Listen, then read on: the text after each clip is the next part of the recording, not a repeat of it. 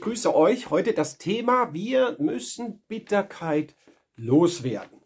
Und wie das geht, zeigt uns der Hebräerbrief Kapitel 12, Vers 15. Und seht darauf, dass nicht jemand Gottes Gnade versäumt, dass nicht etwa eine bittere Wurzel aufwächst und Unfrieden dann anrichtet und viele, hier mal ein Stück übersprungen, viele verunreinigt werden.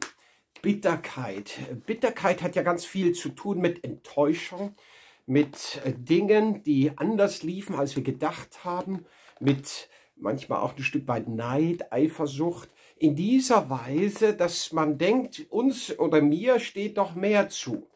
Bitter zu werden, traurig zu sein. Gott, was ist los? Wo bist du? Warum handelst du nicht? Und in Gegenüberstellung zeigt uns die Bibel, dass nicht jemand die Gnade versäumt. Also Menschen, die in einer Art und Weise leben, nicht aus Gnade, sondern aus Leistung. Nicht aus dem Beschenktsein, nicht aus dem es ist schon vollbracht, sondern vielmehr ich leiste, ich wirke, ich mache und Gott, wo bleibst du jetzt? Das beste Beispiel ist für uns da in der Bibel ganz praktisch das Gleichnis vom verlorenen Sohn. Während der eine voll die Gnade des Vaters erlebt, ist der andere am Arbeiten und Schaffen und kommt nach Hause und ist ganz bitter geht überhaupt nicht mehr nach Hause, ist wütend auf seinen Vater. Er möchte überhaupt nicht bei dem Fest dabei sein. Es ist bitter geworden in seinem Herzen.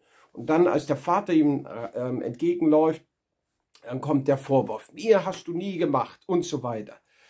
Offenbar ist es so, dass Bitterkeit nicht sofort da ist, sondern sie wächst. So heißt es hier, wie eine Wurzel. Und eine Wurzel ist das Schlimme, gerade bei Unkraut wenn sie nicht entfernt wird, wächst sie immer weiter. Da kann man zwar oben was abschneiden, aber unten wird das Wurzelwerk immer größer, immer fester, immer massiver. Und so kann man zwar gute Miene zum bösen Spiel machen, aber ähm, wenn wir da nicht Gott ranlassen, dann wächst etwas in uns und am Ende heißt es hier, werden viele dabei verunreinigt. Und einander sollen wir da Acht haben. Was bedeutet es nun? Nun, erstmal natürlich jeder auf sich, gleichzeitig aber auch, sollen wir schauen auf den Nächsten in der Gemeinde. In dieser Weise, dass wir uns ausrichten und sagen, Jesus, hilf mir durch deinen Geist. Zeig mir, wo ich stehe. Wo komme ich in dieses Leisten? Wo komme ich in diese Erwartung zu dir, dass du Dinge tun musst, weil ich habe doch was gemacht und ich habe mich doch bemüht und ich habe doch gebetet und ich habe doch Leistung gebracht und ich habe doch geopfert und so weiter.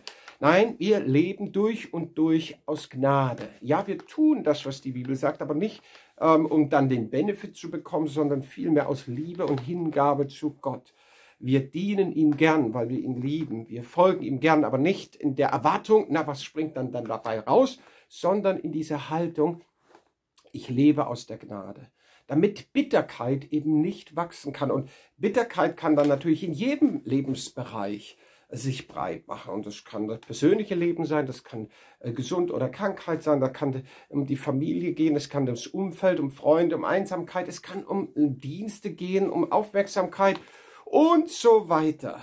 In dieser Weise möchte ich uns einladen, das Wort Gottes hier ernst zu nehmen, dass wir gerade in dieses neue Jahr starten und schauen, ich möchte in deiner Gnade leben. Ich möchte es nicht verpassen.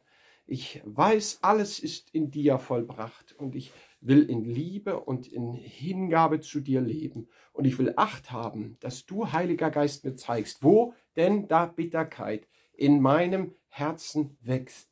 Vielleicht Enttäuschung oder was auch immer. Und das will ich abgeben, das will ich ähm, letztendlich dir bringen, dass du da Hand anlegst und diese Bitterkeit aus unserem Herzen reißt und wir frisch und fröhlich hineinlaufen dürfen in das, was du vorbereitet hast, damit nicht andere womöglich noch, wir selbst und andere, darin verunreinigt werden. Das wünsche ich uns, dass wir in dieser Freiheit und Freude in der Gnade Gottes leben. Gott segne euch und wir sehen uns gerne wieder.